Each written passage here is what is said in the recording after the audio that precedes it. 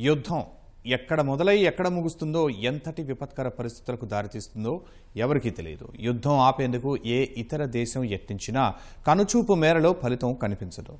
రెండు వర్గాలు వెనక్కి తగ్గకపోవడమే ఇందుకు కారణం. అందుకు నిదర్శనమే ఇజ్రాయెల్ హమాస్ యుద్ధం.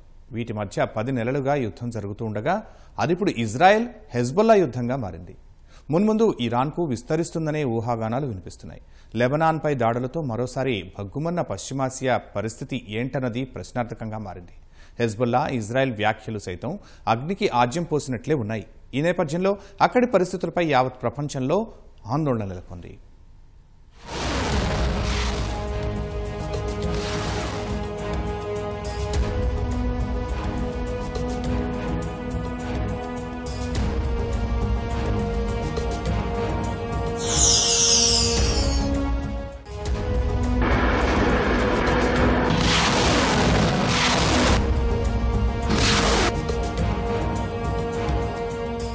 అక్టోబర్ ఏడు రెండు వేల ఇరవై మూడు. ఇజ్రాయెల్ హమాస్ మధ్య యుద్ధం ప్రారంభమైన రోజు. నాటి నుంచి నిత్యం దాడులు ప్రతిదాడులతో గాజాపై విరుచుకుపడుతున్న ఇజ్రాయెల్ ఆదివారం లెబనాన్ కేంద్రంగా పనిచేసే మిలిటెంట్ సంస్థ హిజ్బుల్లా పైన దాడులకు తెరతీసింది. ఆదివారం తెల్లవారుజామున దక్షిణ లెబనాన్పై యుద్ధ విమానాలతో ఇజ్రాయెల్ విరుచుకుపడగా ప్రతిగా హెజ్బొల్లా వందల రాకెట్లు డ్రోన్లను ప్రయోగించింది. దీంతో ఒక్కసారిగా ఉద్రిక్త పరిస్థితి తలెత్తింది. కొన్ని నెలలుగా స్వల్పస్థాయి కవ్వింపులకు పరిమితమైన ఇజ్రాయెల్ హెజ్బొల్లాలు ఇప్పుడు భారీ స్థాయిలో దాడులకు దిగాయి. పశ్చిమాసియాలో పూర్తిస్థాయి యుద్ధానికి ఈ దాడులు ఆజ్యం పోసే ప్రమాదం ఉందని భయాందోళనలు వ్యక్తమవుతున్నాయి.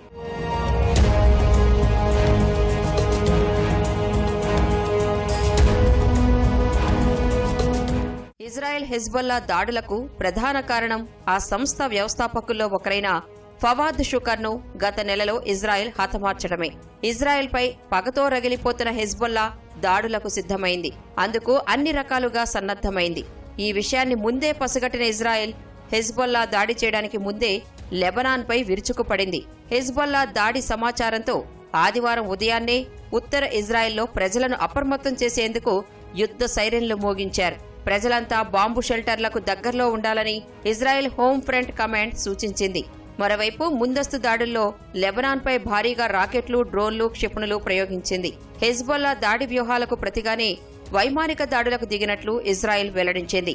లెబనాన్పై చేసిన దాడుల్లో వంద యుద్ధ విమానాలు పాల్గొనగా అవి హెజ్బొల్లా రాకెట్ ప్రయోగ స్థావరాలను ధ్వంసం చేశాయి. ఇజ్రాయెల్ భద్రత దృష్ట్యా ముందస్తు దాడులు జరిపినట్లు ఇజ్రాయెల్ వివరించింది.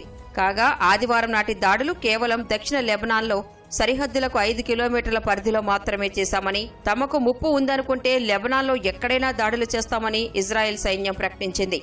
తమ దేశ పౌరులకు ఏర్పడ్డ ముప్పును తప్పించేందుకే లెబనాన్లో దాడులు జరిపామని ఇజ్రాయెల్ రక్షణ మంత్రి గాలంట్ తెలిపారు. ఉత్తర ఇజ్రాయెల్ దిశగా హెజ్బొల్లా గురిపెట్టిన వేలాది రాకెట్లను ఇజ్రాయెల్ సైన్యం నిర్వీర్యం చేసినట్లు ప్రధాని నెతన్యాహు వెల్లడించారు.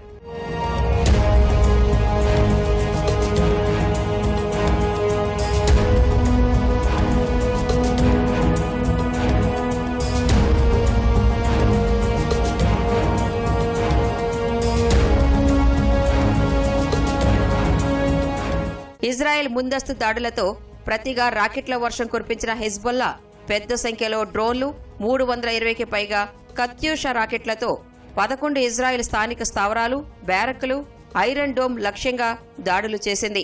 నహరియా నౌకను లక్ష్యంగా చేసుకుంది. ఉత్తర ప్రాంతాల్లో హెజ్బొల్లా జరిపిన దాడుల్లో ఒక నౌకాదళ అధికారి మరణించారని ఇద్దరు గాయపడ్డారని ఇజ్రాయెల్ వెల్లడించింది. ఇజ్రాయెల్ బోట్లపై దాడులు చేసిన వీడియోలు సామాజిక మాధ్యమాల్లో వైరల్గా మారాయి. ఈ దాడుల్లో ముగ్గురు ఫైటర్లు మృతి చెందినట్లు లెబనాన్ ఆరోగ్య శాఖ వెల్లడించింది. టెల్ అవీవ్ సమీపంలోని సైనిక స్థావరంపై దాడి చేసినట్లు హెజ్బొల్లా నేత నస్రుల్లా తెలిపారు. బెకా ప్రాంతం నుంచి తొలిసారిగా ఇజ్రాయెల్ పైకి రాకెట్లను ప్రయోగించామని చెప్పారు. ఉత్తర ఇజ్రాయెల్పై దాడులతో ఆ ప్రాంతంలోని బెన్ గురియన్ విమానాశ్రయాన్ని గంటపాటు మూసివేశారు. హిజ్బొల్లా దాడులతో టెల్ అవీవ్కు పలు విమాన సర్వీసులు రద్దయ్యాయి. హిజ్బొల్లా కాల్పుల కారణంగా నలభై ఎనిమిది గంటల పాటు ఎమర్జెన్సీని విధించినట్లు ఇజ్రాయెల్ రక్షణ మంత్రి యోవ్ గాల్లెంట్ ప్రకటించారు. కాగా గాజాలో కాల్పుల విరమణ ప్రకటిస్తే దాడులను ఆపుతామని హిజ్బొల్లా స్పష్టం చేసింది.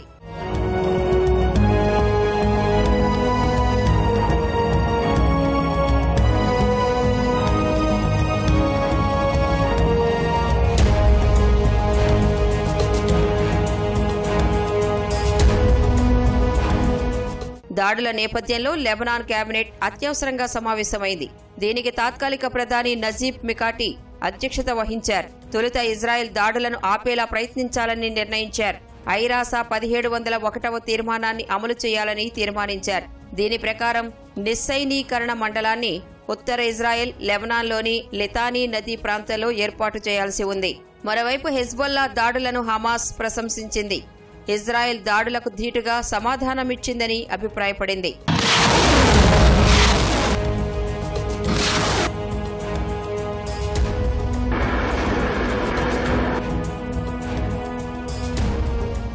పది నెలలుగా ఇజ్రాయెల్ హమాస్ మధ్య జరుగుతున్న యుద్ధాన్ని ఆపాలని శాంతి ఒప్పందం కుదర్చాలని ఈజిప్టు యత్నిస్తుండగా ఈ దాడులు జరగడం గమనార్హం. యుద్ధం ఆగడం కాదు కదా? యుద్ధ విస్తరణకు ఇజ్రాయెల్ పూనుకోవడం ఈజిప్టును ఆలోచనల్లో పడేసింది. మరోవైపు ఇజ్రాయెల్ హెజ్బొల్లా దాడులతో యుద్ధ విస్తరణపై ఈజిప్ట్ హెచ్చరికలు జారీ చేసింది. లెబనాన్లో సుస్థిరతకు పిలుపునిచ్చింది. ఇదిలా ఉంటే హెజ్బొల్లాపై ఇజ్రాయెల్ దాడి చేస్తున్న క్రమంలో అగ్రరాజ్యం అమెరికా కూడా అప్రమత్తమైంది. యుద్ధ నౌకలను ఇజ్రాయెల్ సమీపానికి పంపింది. ఇజ్రాయెల్ దాడులతో ఇరాన్తో పాటు మిలిటెంట్ గ్రూపులు అప్రమత్తమయ్యాయి. దీంతో మునుముందు యుద్ధం ఎటువైపు మళుతుందో అని ప్రపంచవ్యాప్తంగా భయాందోళనలు మొదలయ్యాయి. దీనికి హెజ్బొల్లా చీఫ్ నస్రుల్లా వ్యాఖ్యలు కూడా కారణం. ఇజ్రాయెల్పై చేసిన ఫేజ్ వన్ దాడుల్లో విజయం సాధించామని త్వరలోనే ఫేజ్ టూ దాడులు కూడా చేపడతామని నస్రుల్లా ప్రకటించారు. ఒకవేళ అదే జరిగితే ప్రశాంతమైన పశ్చిమాసియాలో యుద్ధం మరో రూపు దాల్చే అవకాశం లేకపోలేదని అంతర్జాతీయ నిపుణులు అభిప్రాయపడుతున్నారు. ఇప్పుడు కొత్తగా మనకు ఈ పశ్చిమాసియా దేశాల గురించి మనం మాట్లాడుకుంటున్న నేపథ్యంలో ఒకే ఒక చిన్న ఆశ ఏంటంటే మనకి ఒకనొక కొసమెరుపు ఏంటంటే ఒక ఒకనొక ఆశాకిరణం ఈజిప్టు.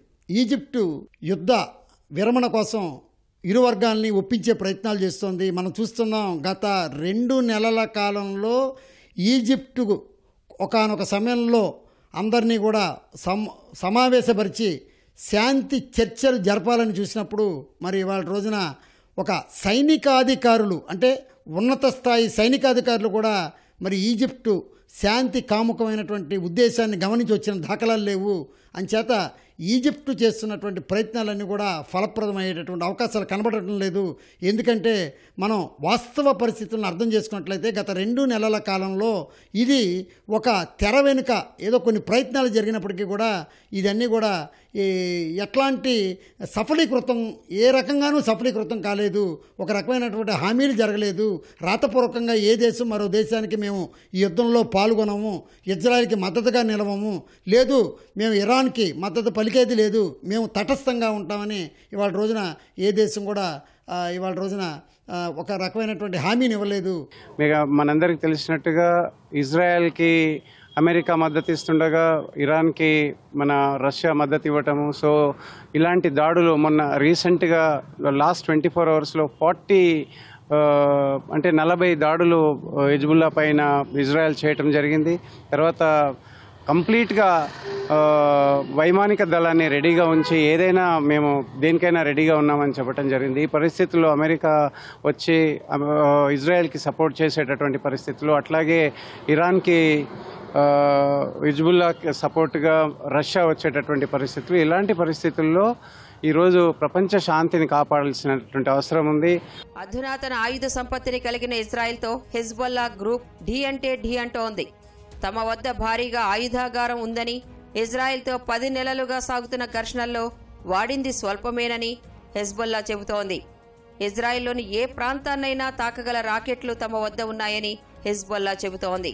వీటికి తోడు అత్యంత ఖచ్చితత్వంతో లక్ష్యాన్ని ఛేదించగల క్షిపణులు డ్రోన్లు ట్యాంక్ విమాన నౌక విధ్వంసక క్షిపణులను హిజ్బొల్లా సమకూర్చుకుంది. కాగా ఇజ్రాయెల్ హెజ్బొల్లాల మధ్య యుద్ధమే అనివార్యమైతే వాటికి సహకరించే అమెరికా రష్యా ఇరాన్లు భాగస్వామ్యమయ్యే అవకాశం ఉంది ఫలితంగా మరింత విధ్వంసం తప్పదనే ఆందోళన వ్యక్తమవుతోంది.